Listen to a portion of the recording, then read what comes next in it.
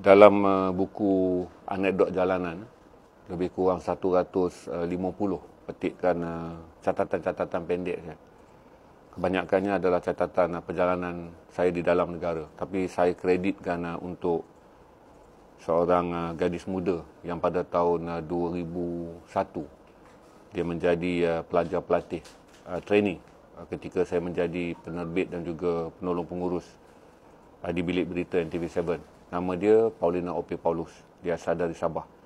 Di dalam bab dua buku ni, saya menceritakan bagaimana daripada gadis praktikal, uh, Paulina kemudiannya saya rayu kepada pihak sumber manusia untuk serapkan dia ke dalam pasukan di siasat tapi dibayar gaji murah kerana tahun 2001 uh, berlaku masih lagi belum pulih daripada kemelesetan uh, ekonomi akibat kejatuhan mata wang. Dia Paulina ni bekerja dengan saya RM1,500 dengan latihan uh, ala komando lah dalam pasukan edisi siasat yang sangat kecil. Tapi yang menarik tentang Paulina ni dia bekerja dan mengikut saya di semua tempat saya bekerja selama 19 tahun. Saya latih dia, uh, bawa dia ke garisan krisis, ke Afghanistan, uh, ke Lubnan. Hinggalah pada usia dia hujung 20-an. Dia mengetuai, dia wanita pertama yang saya pilih mengetuai delegasi penggembaran yang pergi ke negara-negara miskin dan terbiar untuk melihat umat Islam di Mali, di Malawi, yang mana satu cabaran besar untuk seorang wanita mengetuai pasukan uh, wartawan di tempat yang di waktu itu jaminan keselamatannya tiada uh, jangkitan penyakit adalah tinggi dan yang paling ketiga yang paling ditakuti adalah wanita bergerak uh, dalam kawasan yang banyak penculikan dan jenayah Paulina pada satu masa datang kepada saya. Waktu dia bekerja dengan saya di tahun 2006 dalam sebuah production yang menerbitkan dokumentari dalam anak syarikat yang dimiliki oleh Astro. Bilik dia sebelah bilik saya. Dalam bilik dia masih ada lagi patung Trinity. Ya.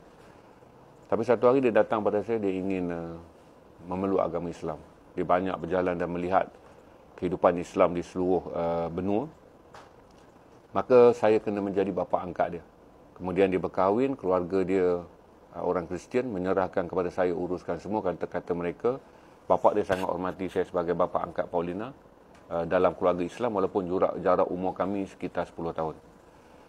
Jadi tuan-tuan, ah, dalam buku ni saya kisahkan bagaimana daripada budak trainee menjadi seorang yang mengetuai perjalanan ke wilayah bahaya di Afrika, dia ikut saya ah, ke apa ni Afghanistan. Yang waktu tu sangat-sangat tegang apabila Amerika baru saja masuk dan menakluk Afghanistan pada tahun 2001 kami sampai 2005 dan dia berada dengan saya Lubnan Ah, dalam banyak kali siri ketegangan uh, perang di Lubnan termasuk waktu saya melawat uh, selepas uh, pengeboman yang membunuh uh, Perdana Menteri uh, Lubnan uh, Malik Hariri.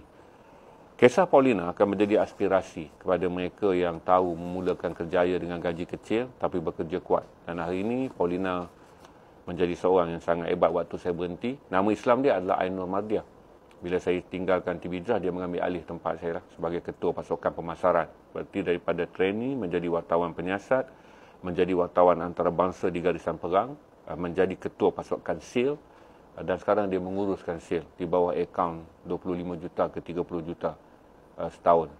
Jadi kisah dia akan menginspirasikan anda daripada lebih 150 kisah yang saya catatkan dan buku ini diterbitkan oleh penerbit tentang kita Sendian Berhad saudara boleh beli dengan uh, inbox uh, dengan beg kuning di semua page-page saya yang menjual. Uh, saya tak jual. Akaun saya tak jual tapi akaun-akaun TikTok banyak jual buku ni.